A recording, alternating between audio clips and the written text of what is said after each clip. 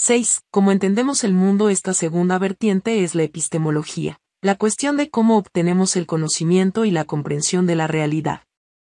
No lo que sabemos, de nuevo, eso es ciencia, sino cómo conocemos las cosas. El proceso de comprensión. Los datos en bruto sobre el mundo, explica Rand, nos llegan a través de nuestros sentidos. Nuestro cerebro toma automáticamente esa corriente aparentemente aleatoria de sensaciones no relacionadas y las integra en percepciones coherentes. Estas percepciones son las que nos hacen conscientes de que las cosas existen. Pero entender qué son esas cosas no es algo automático. Requiere un acto de voluntad por nuestra parte, la aplicación deliberada de la mente y el pensamiento, para convertir las percepciones brutas de las cosas en un conocimiento útil sobre ellas. Este proceso deliberado es lo que Rand llama razón.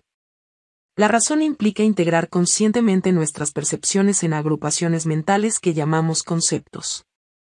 Es desarrollando, refinando y probando nuestros conceptos como captamos la verdadera naturaleza de las cosas. Esto requiere concentración y esfuerzo. No nacemos con una mente llena de buenos conceptos que reflejen verdaderamente la realidad. Tenemos que aprender y seguir las reglas del pensamiento sólido si queremos crearlos. Tenemos que mantener nuestro pensamiento objetivo y no distorsionado por nuestros prejuicios, sueños o caprichos. La validez de los sentidos. Algunos escépticos afirman que el argumento de Rand cae en la primera trampa. Nunca podremos tener un conocimiento válido del mundo, dicen, porque nuestros sentidos pueden distorsionar la realidad que nos transmiten pero para Rand, nuestras percepciones son perfectamente válidas. El único trabajo que tienen que hacer nuestros sentidos es hacernos conscientes de que algo existe. A continuación, corresponde a nuestra razón comprender exactamente lo que existe. La realidad y la conciencia están íntimamente ligadas. Nuestras sensaciones provienen en parte de la naturaleza de los objetos reales y en parte de la naturaleza de nuestros propios órganos sensoriales podemos experimentar la realidad de forma diferente, como hacen las personas normales y los daltónicos, pero se trata de la misma realidad, dice Rand, como nos puede demostrar la razón. El color, el sabor, etc., no están solo en la mente, de alguna manera independiente de cualquier objeto real. Tampoco son cualidades de los objetos, de alguna manera independientes de nosotros son más bien los efectos que los objetos tienen sobre nosotros. Y así es como percibimos la realidad.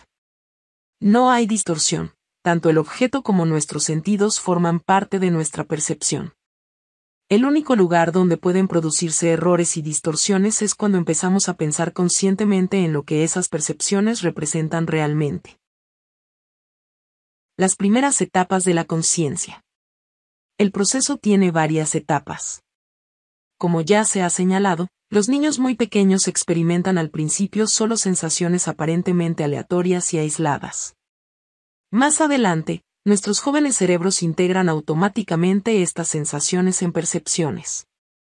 Así, por ejemplo, en lugar de percibir un vasto abanico de formas verdes y marrones, ahora percibimos un grupo coherente de sensaciones, un concepto, que un adulto llamaría Warble. Ahora somos conscientes de una cosa, una entidad, algo diferente de nuestras otras sensaciones de fondo y, de hecho, de otras entidades. Al principio, cada percepción, cada árbol que percibimos, parece única. Pero, de nuevo, nuestros jóvenes cerebros empiezan a captar automáticamente las diferencias, similitudes y relaciones entre ellos. Llegamos a ver las entidades no como únicas, sino como miembros de un grupo de objetos, árboles, que tienen características unificadoras.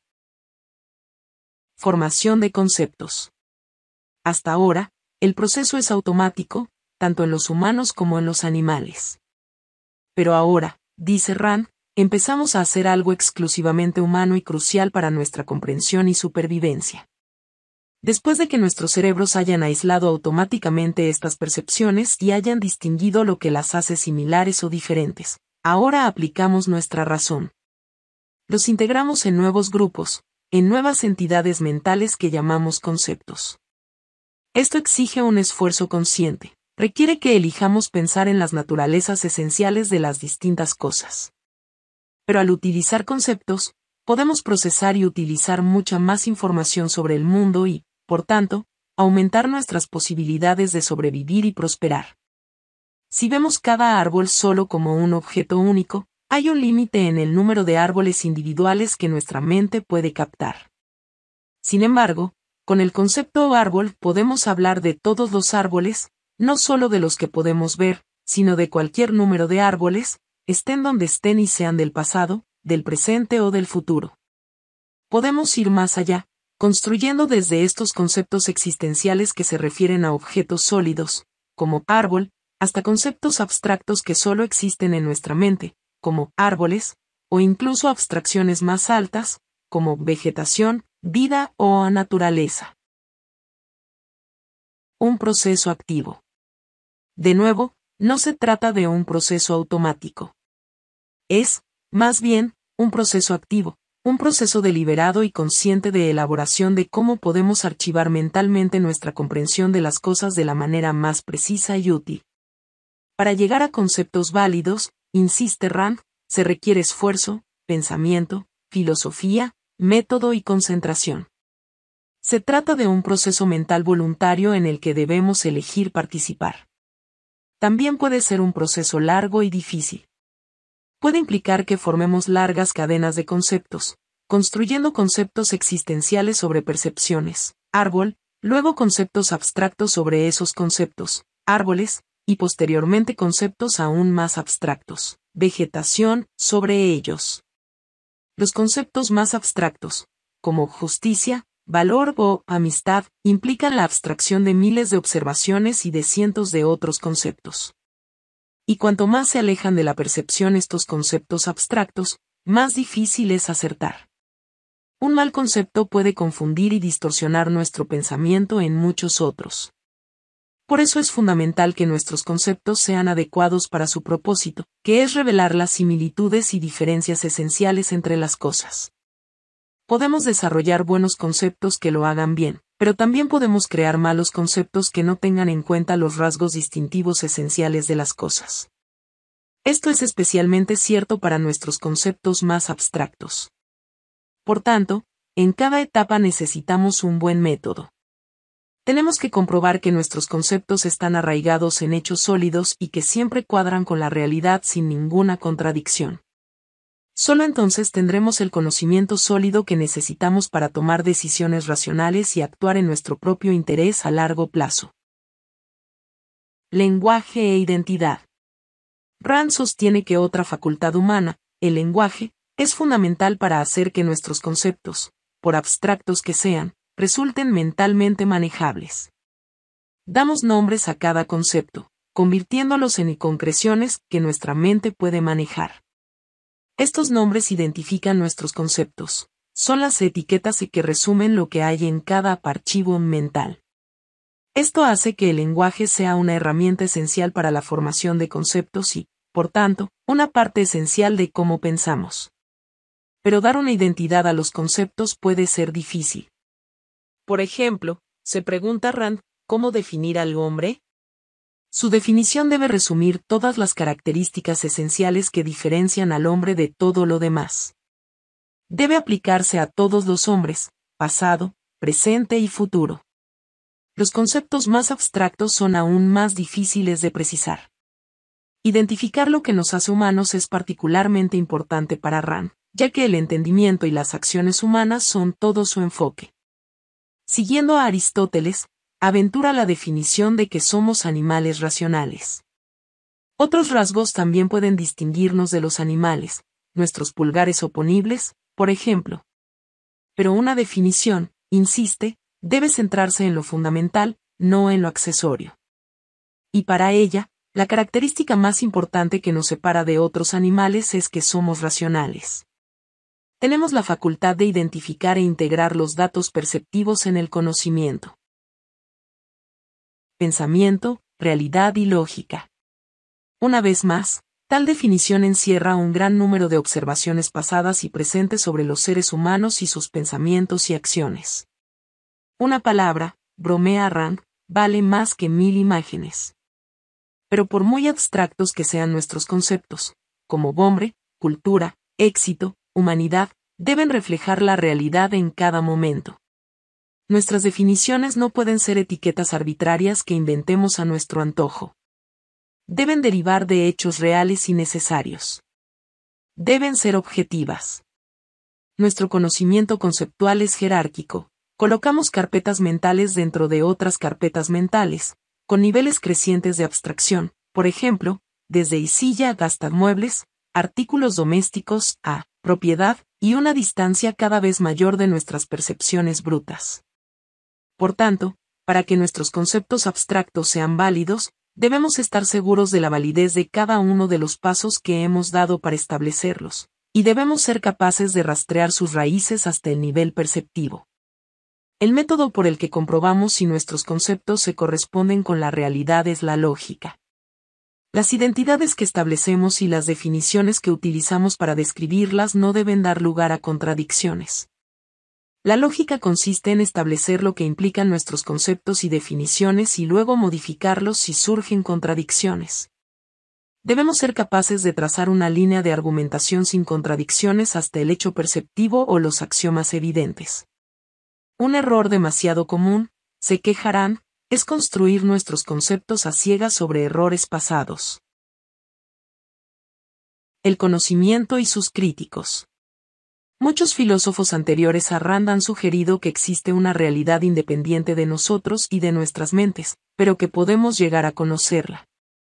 La lista de estos realistas, como se les llama, incluye a Aristóteles, Tomás de Aquino, Francis Bacon, René Descartes, John Locke y muchos otros. Una diferencia clave es que, mientras que la mayoría de los realistas pensaban que el único vínculo que tenemos con la realidad es la dudosa evidencia de nuestros sentidos, Rand es realista también en cuanto a la percepción. Nuestras percepciones, sostiene, no son solo un conjunto de datos sensoriales que llegan a través de nuestros, potencialmente poco fiables, órganos sensoriales, sino una conciencia directa de las cosas. Otros pensadores, como Thomas Reid, mantuvieron opiniones más o menos similares, pero son una minoría. Otra diferencia es que Rand no es realista respecto a los conceptos abstractos, como lo fueron muchos, entre ellos Platón y Aquino. Para ella, podemos percibir que un árbol concreto existe sin nosotros. Pero los árboles o la vegetación y no son cosas reales que existen independientemente de nosotros. Son ideas abstractas que formamos en nuestra mente y que solo existen en ella. Son el sistema de archivo que utilizamos para poner orden mental a nuestras percepciones. Pero Rand considera que el debate sobre la realidad y cómo la conocemos es algo más que una discusión entre los realistas, que suponen la existencia de un mundo real, y los escépticos, como el filósofo escocés Dever Hume, que sostienen que nunca podremos conocer ninguna realidad más allá de nuestras propias sensaciones. Su punto de vista distintivo es que las cosas reales existen, pero solo lo sabemos a través de sus efectos sobre nosotros y sobre cómo pensamos en ellas. La realidad no puede separarse de nuestras mentes, ni nuestras mentes pueden hacer de la realidad cualquier cosa que elijamos. Para sobrevivir y prosperar tenemos que elegir pensar objetivamente sobre lo que experimentamos, utilizando la lógica y la razón para construir una imagen clara del mundo que esté arraigada en los hechos la invalidez del agnosticismo. Algunas personas, observa Rand, rechazan los métodos objetivos y creen en Dios, o en la reencarnación, o en que los planetas controlan nuestras vidas. A menos que podamos demostrar que están equivocados, afirman, debemos admitir la posibilidad de que tengan razón. Así que, como mínimo, argumentan, debemos admitir que no podemos estar seguros y permanecer agnósticos. No, dice Rand, no estamos obligados a refutar tales afirmaciones, ni siquiera a tomarlas en serio como dignas de consideración y debate. La carga de la prueba recae siempre en los oradores, que deben presentar pruebas objetivas que respalden sus creencias. Si no pueden, podemos descartar sus afirmaciones como meramente arbitrarias, sin mayor fundamento en la realidad que cualquier otra idea aleatoria, por extraña que sea. Por lo tanto, es ilegítimo pasar la carga de la prueba a los críticos o afirmar que tenemos que aceptar la incertidumbre, concluye. Si hemos llevado a cabo un proceso lógico basado en pruebas sólidas en el contexto de los hechos disponibles, no hay incertidumbre ni motivo para el agnosticismo. Razón y emoción. Otros críticos sostienen que nuestros deseos y emociones son los que nos impulsan y que la razón se limita a mostrarnos el mejor camino para alcanzar nuestros fines. La razón es, solo la esclava de las pasiones, como dijo David Hume pero Rand considera que esto es un completo retroceso. El pensamiento guía a la emoción, dice, y no al revés. La razón, nos recuerda, es la facultad que identifica las cosas y las clasifica en conceptos. Las emociones son un producto de este proceso racional. La emoción es nuestra respuesta psicológica a algo que valoramos de alguna manera, como bueno, malo, útil o peligroso pero para saber qué significa algo para nosotros, primero debemos saber qué es. Debemos haber aplicado ya nuestra razón, la razón precede a las emociones. Las emociones pueden ser útiles en otros aspectos, pero no pueden decirnos qué es lo verdadero. La postura filosófica de Rand. Rand concluye que la filosofía tradicional es fatalmente defectuosa porque no comprende que el conocimiento se basa tanto en la realidad como en la mente. Para ella, el conocimiento es una asociación íntima entre ambos. Para enfatizar esto, describe el proceso de cómo adquirimos el conocimiento como psicoepistemología. Por tanto, tener la filosofía adecuada es crucial para entender el mundo y actuar en él. Y esto es tan cierto para nuestras acciones morales como para cualquier otra cosa.